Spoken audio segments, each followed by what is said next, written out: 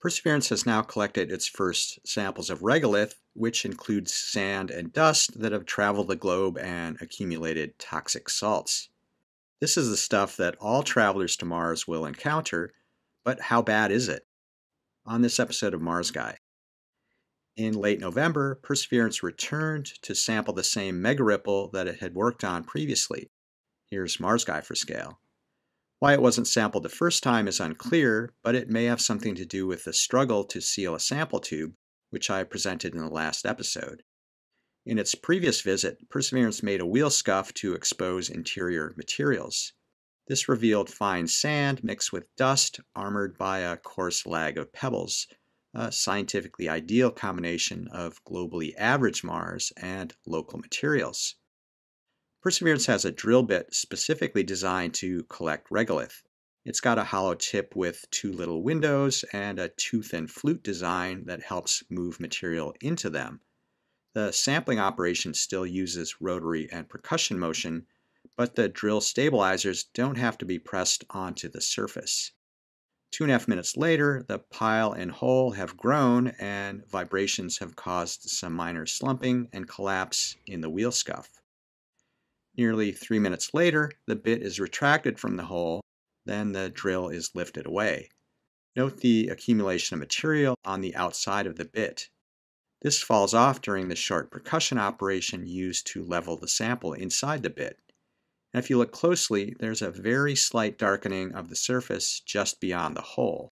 I suspect that some of the material on the bit arrived there courtesy of a gust of wind, providing a bit of bonus science.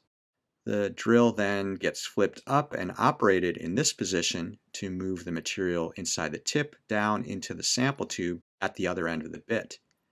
The tube is transferred out of the bit using the same process as any other tube and undergoes the same inspection with the cache cam moving through its focal point in 1 centimeter increments to gauge the sample depth.